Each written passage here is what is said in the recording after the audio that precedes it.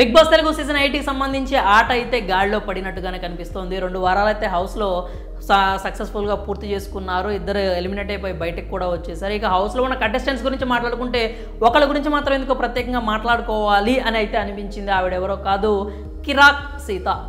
నిజంగా హౌస్లో ఉన్న కంటెస్టెంట్స్లో ముఖ్యంగా లేడీ కంటెస్టెంట్స్లో సీత పర్ఫార్మెన్స్ గురించి అయితే మనం ప్రత్యేకంగా మాట్లాడుకోవాలి. ఎంతో అద్భుతంగా ఆడుతోంది ఎంతో అద్భుతంగా ఫైట్ చేస్తోంది. తన టీం కోసం తన కోసం తనకంటూ ఒక ఇండివిజువల్ గుర్తింపు కోసం సీత అయితే పోరాడుతూ ఉంది. ప్రతి టాస్క్లో కూడా ప్రాణం పెట్టి ఆడుతోంది. ఆ విషయాన్ని అయితే నాగార్జున గారు కూడా ప్రత్యేకంగా మెన్షన్ చేశారు. కిరాక్ సీత చాలా అంటే చాలా అద్భుతంగా ఆడింది అని చెప్పారు. ఇంకా హౌస్లో ఉన్న కంటెస్టెంట్స్ అందరితో కూడా చాలా అంటే చాలా బాగా ఉంటుంది మింగిల్ అవుతుంది. ఎక్కడా కూడా లూజ్ వర్డ్స్ కావచ్చు లేకపోతే ఒకళ్ళ మధ్యలో ఒకళ్ళకి చిచ్చు పెట్టాలని కావచ్చు అలాంటివి ఏవీ లేకుండా తాను ఏదైతే నమ్మిందో తన మనసుకి ఏదైతే కరెక్ట్ అనిపించిందో అవన్నీ చేసుకుంటూ పోతుంది.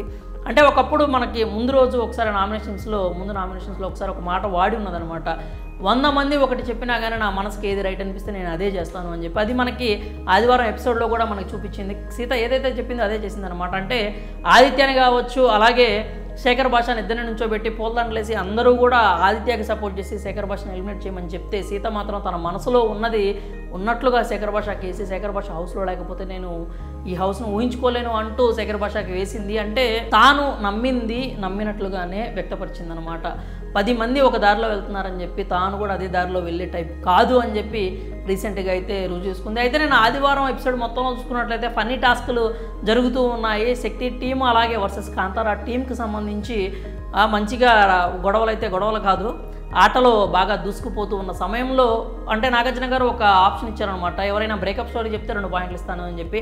వెంటనే సీత లేసి తన బ్రేకప్ స్టోరీ చెప్పడానికి రెడీ అయిపోయిందనమాట ఆల్రెడీ అంతకంటే ముందు గిఫ్ట్లు టాస్క్లో తను సూచాయిగా చెప్పుకోవచ్చింది ఆ స్టోరీని అయితే అయితే ఆ తర్వాత మళ్ళీ తన బ్రేకప్ స్టోరీని అయితే చెప్పడానికి తను రెడీ అయిపోయింది. అది ఏమీ లేదు బ్రేకప్ స్టోరీ ఏంటి అంటే లాస్ట్ ఇయర్ ఏప్రిల్లో సీతని ఆమె ఐదు సంవత్సరాల పాటు ఒక రిలేషన్లో ఉంటే ఆ వ్యక్తి ఆ అమ్మాయినైతే చీట్ చేశాడనమాట అంటే ఇంట్లో వాళ్ళకి చెప్పి పెళ్ళి చేసుకుందాము పెళ్ళిపీటల ఎక్కాలి అనే ఒక సందర్భంలో అతను ఆవిడ్ని వదిలేసి వెళ్ళిపోయాడు అనే విషయాన్ని అయితే చెప్పింది. అంటే ఎక్కడ కూడా బాధపడలేదు.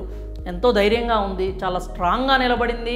తాను అంటే అలాంటి వ్యక్తి నుంచి తప్పించుకున్నందుకు అలాంటి వ్యక్తి తనను వదిలి వెళ్ళిపోయినందుకు తాను ఎంతో ఆనందంగా ఉన్నాను అని చెప్పి ప్రస్తుత సిచ్యువేషన్ అయితే చెప్పుకొచ్చింది అనమాట అయితే ఆ బ్రేకప్ జరిగిన సమయంలో తాను ఎంత డౌన్ అయిపోయిందనే విషయాన్ని కూడా మనకి మెన్షన్ చేసింది. కేవలం ఆరు నెలల సమయంలో పద్నాలుగు కేజీల వెయిట్ అయితే లూజ్ అయిపోయిందని చెప్పి సీత చెప్పుకొచ్చింది. అయితే అతను ఐదు సంవత్సరాల తర్వాత పెళ్ళి ప్రస్తావన వచ్చిన తర్వాత వదిలేసి వెళ్ళిపోవడం అప్పుడే అతని నిజ స్వరూపం ఆవిడకి తెలిసింది సీతకి. అది ఏంటంటే గత సంవత్సరం నుంచే సీతాను అయితే చీట్ చేస్తున్నాడనే విషయం ఆవిడ తెలుసుకోలేకపోయింది. ఎందుకంటే ప్రేమ గుడ్డిది అంటారు కాబట్టి అంత గాఢంగా ప్రేమిస్తే ఎదుటి వాళ్ళు చేసే తప్పులు మన కళ్ళకైతే కనిపించవు. సో సీత కూడా అలాగే బ్లైండ్ రిలేషన్షిప్లోకి వెళ్ళిపోయింది. పెళ్ళి అనే ప్రస్తావన తీసుకురాకపోతే కనీసం ఇంకొక సంవత్సరం అయినా కానీ సీతని మోసం చేసేవాడేమో.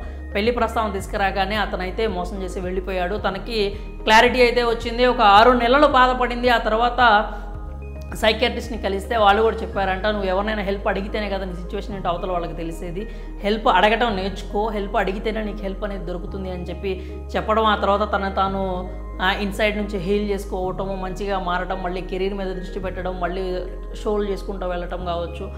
యాక్టింగ్ స్టార్ట్ చేయడం కావచ్చు. మళ్ళీ ఇప్పుడు బిగ్ బాస్ సీజన్ వరకు వచ్చింది. సో సీత అయితే తన బ్రేకప్ స్టోరీ చెప్పడమే కాకుండా అందరికీ మంచి సజెషన్ కూడా వచ్చిందనమాట ఏది అయినా కానీ బ్యాడ్ ఆర్ గుడ్ దాన్ని యాక్సెప్ట్ చేయాలి. అలాగే ఏదున్నా కానీ అవతలి వాళ్ళతో డిస్కస్ చేయాలి. ఎవరికైనా కానీ మనం మన సిచ్యువేషన్ని చెప్తేనే అవతల వాళ్ళకి తెలుస్తుంది.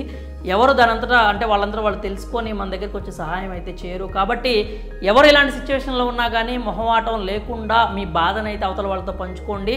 అలాగే రిలేషన్ అనేది ఏదైనా కానీ వెళ్ళిపోయింది అంటే మన మంచికే అనుకోవాలి అనే ఒక సందేశాన్ని కూడా సీత ఇచ్చింది. ప్రస్తుతం అయితే సీత కిరాక్ సీతకు సంబంధించి ఆవిడ బ్రేకప్ స్టోరీ విన్న తర్వాత ఆవిడ మీద ఇంకా అభిమానులకు గౌరవం పెరిగింది. అలాగే సీత ఎంత ధైర్యవంతురాలు ఎంత బ్రేవ్ అనే విషయం అయితే మరొకసారి అందరికీ అర్థమైంది. కాబట్టి సీతని అంటే సీత మీద ఇప్పటివరకు ఉన్న ఫాలోయింగ్ రెండు తెలుగు రాష్ట్రాల్లో మరింత పెరిగింది అనే చెప్పాలి. గతంలో అంటే సీ- హౌస్లో రాకముందు వరకు సీత మీద ఉన్న- ఉన్న ఒపీనియన్ వేరు కావచ్చు. అంటే ఒక యాక్టర్గా మాత్రమే ఆవిడని చూశారు. కానీ హౌస్లోకి అడుగు పెట్టిన తర్వాత ఈ రెండు వారాల్లో ఒక హ్యూమన్ బీయింగ్గా సీత ఏంటి? ఆమె క్యారెక్టర్ ఏంటి? ఆమె మెంటాలిటీ ఏంటి? ఆవిడ ఎలా మాట్లాడుతుంది? ఎలా ఉంటుంది? ఎలా తింటుంది? ఎలా మింగిల్ అవుతుంది? అనే విషయాలు అన్నీ కూడా తెలుసుకున్నారు. సో కిరాక్ సీతకి బిగ్ బాస్ హౌస్కి సంబంధించి కేవలం రెండు వారాల్లోనే హ్యూజ్ రెస్పెక్ట్ వచ్చింది. హ్యూజ్ పాపులారిటీ అయితే పెరిగిపోయిందని చెప్పాలి. మరి కిరాక్ సీత ఆట మీకు ఎలా అనిపించింది?